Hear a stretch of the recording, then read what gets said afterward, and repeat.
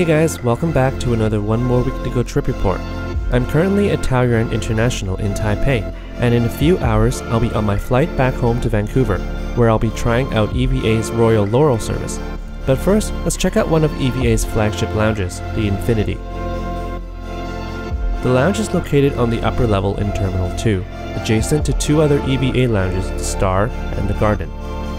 The lounge follows the new EVA styling with lots of colorful mood lighting on the walls and ceiling.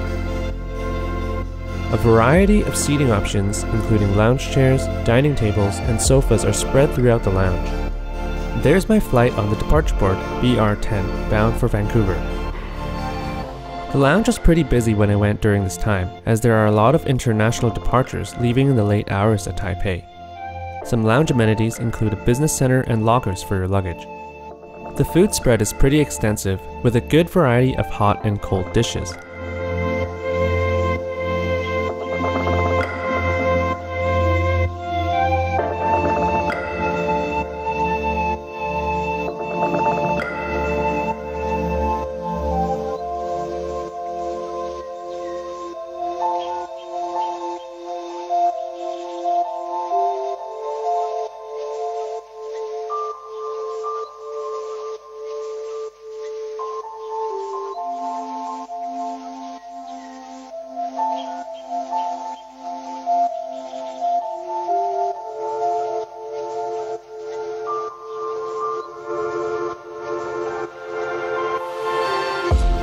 Personally didn't eat that much in the lounge as I wanted to save my appetite for my meal on board, so I just went with a simple iced coffee and a beef noodle soup.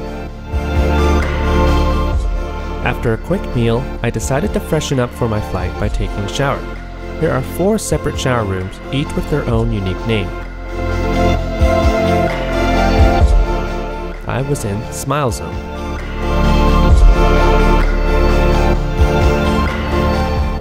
The shower room itself looked pretty basic, but it came with a lot of amenities for you to use.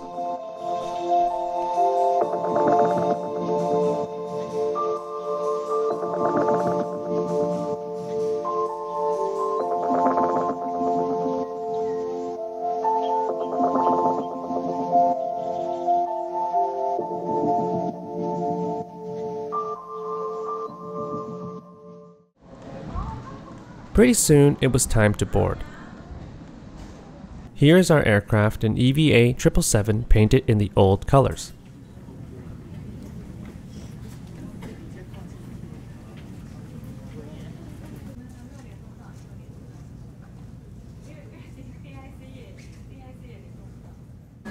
EVA's Royal Laurel class has reverse herringbone seats in a 1-2-1 seating configuration. I was in seat 6K, which is the last row in the forward business class cabin. Waiting on my seat was the amenity kit, headphones, a pillow, and on the ottoman was a thick blanket. There are a lot of storage compartments, which I personally love as I carry a lot of equipment around.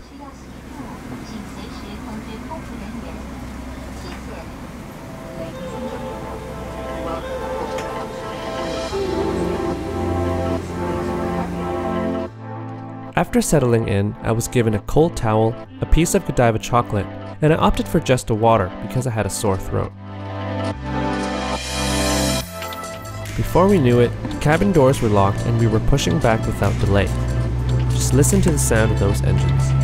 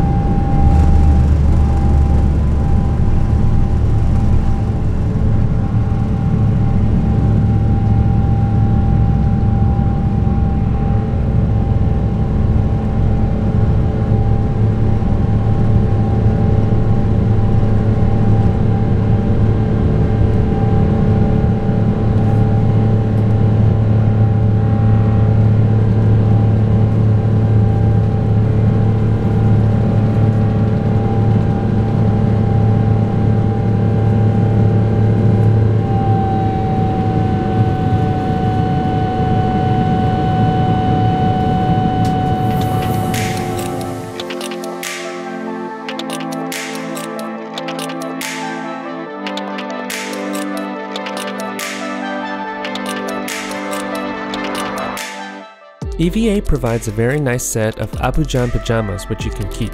I'm really digging the pattern on those pants. Here's the blanket that I mentioned earlier. It feels very high quality and I used it throughout the flight.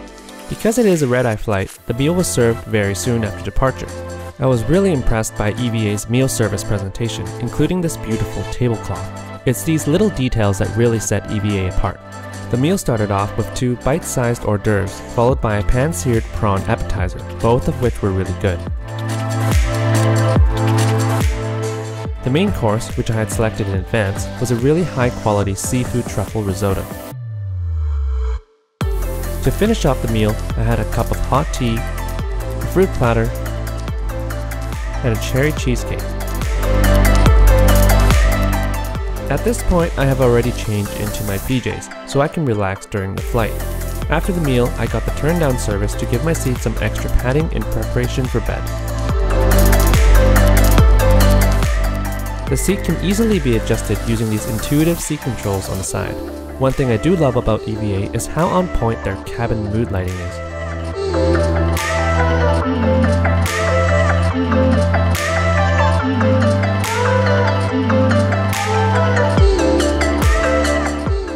I especially loved the ceiling full of stars. After waking up from a nap, I ordered a matcha milk tea and then checked out some of their other amenities. Here are the noise cancelling headphones. And here's EVA's Rimowa amenity kit, which is a cool metallic blue color. It looks like a miniature version of the Rimowa luggage. The contents include a toothbrush set, a comb, socks, lotion, lip balm, earplugs, and a microfiber cloth. As I love to collect airline memorabilia, I asked the crew for some postcards and a pen. They not only gave me that, but also a deck of cards, as well as some EVA literature pads.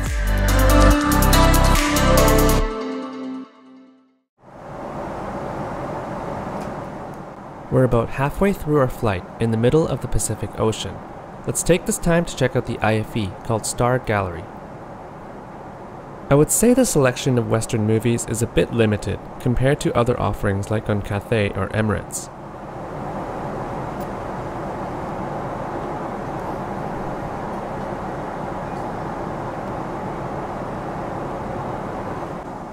While the IFE is touchscreen, it can also be controlled via this remote controller docked on the side.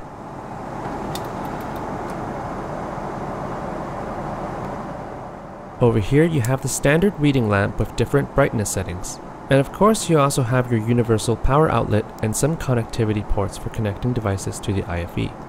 Again, the seat controls are very easy to access and are pretty intuitive. The tray table swivels out from a latch here, and folds out for more surface area.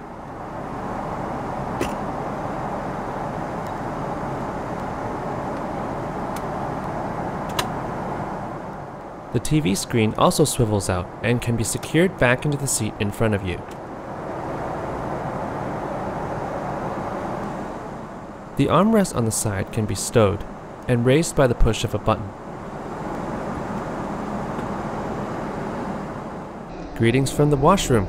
Here's a quick tour of the washroom in the business cabin. It's very clean and features amenities including toothbrushes, mouthwash, moist towels, as well as Harnn moisturizers, facial mist, and cologne. One of my favorite things to do mid-flight when everyone is asleep is to raid the galley for some mid-flight snacks. EVA does not disappoint with their snacks, and I wished I grabbed a couple more packs. As we drew closer to North America, the cabin started to wake up as the arrival meal was being prepared. The mood lighting turned into this fiery sunset glow, which really set the mood right.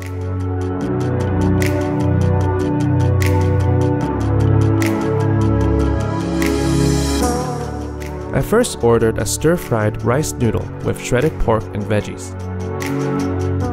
followed by shrimp bomb noodle soup.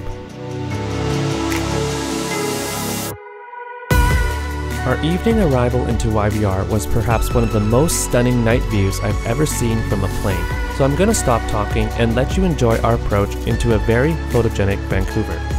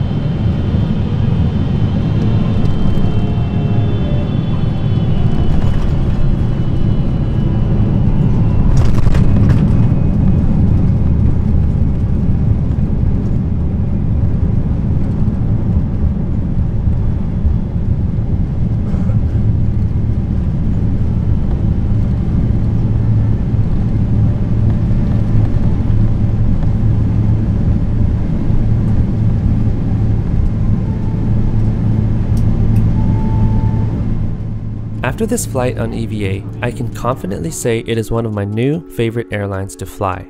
EVA gets so many things right, from the comfort of the seat to the hospitality of the crew to the amazing quality of the food, makes it a very competitive product all around. I love the fact you get pajamas in business class, and I'll definitely be bringing the Rimowa kit on my future travels. The only thing I wasn't too impressed with was the IFE selection, but other than that, it's easy to see why EVA is ranked in the top 5 airlines in the world for 2018. Well that's a wrap for this one. Once again, thanks for joining me and I hope you enjoyed this cinematic experience aboard EVA. If you did, hit the like button, subscribe if you aren't already, and hit the bell icon to be notified when we post new videos. This trip report is also available on our blog, onemoreweektogo.com. As always, thanks for watching, happy travels, and see you in the next one.